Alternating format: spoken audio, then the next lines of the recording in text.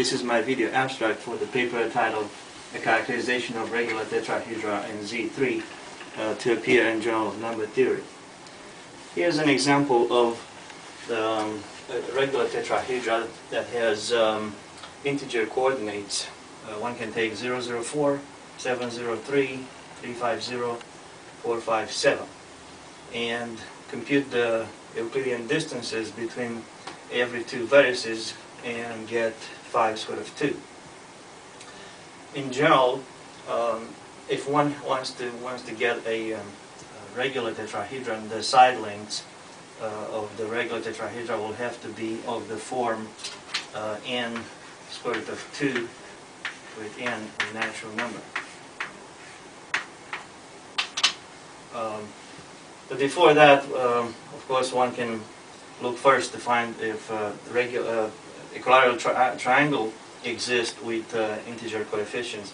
And um, the conditions for that, uh, for the side lengths to exist, is um, that the side length is given by, uh, it needs to be of the following form. Uh, natural number times square root of 2 times a quadratic expression uh, where m and n are um, integers. So this is a continuation of uh, a paper that appeared in the Integers in 2008 about the characterization of all equilateral triangles with uh, integer coordinates. It turns out that um, every equilateral triangle uh, with uh, integer coordinates, it's contained in a plane uh, whose normal is given by some vector ABC with ABC uh, and D and odd or odd integers. So in this paper we have this um, characterization that every equilateral triangle up to a translation that brings one of the vertices into the origin um, is going to look uh, the following way. Uh, it's going to be given by some uh, vectors um, zeta and eta, which in a sense determine the uh, minimal um, tessellation of this plane with equilateral triangles.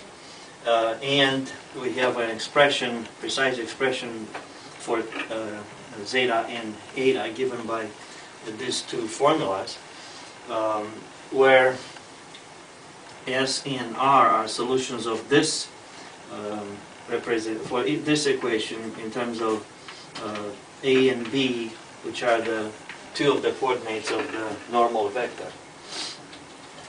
For example, an interesting example is, is this. Suppose you, hit, you take D to be the 2009. Then 2009 has a representation, um, enters into an equation of this form, 1 squared plus 1 squared plus 7 1 squared equals 3 times 2009 squared. Um, one can take uh, an m and an n here appropriately to get uh, M55 and 16 for those and to get this p and q with our integer coordinates and check that this together with the origin forms an equilateral triangle.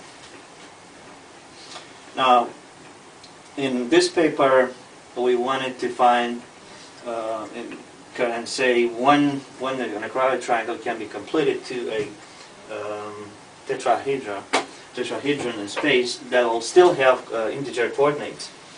And uh, if one takes such a, an equilateral triangle, of course, can uh, this can be completed in two ways to a, a regular tetrahedron.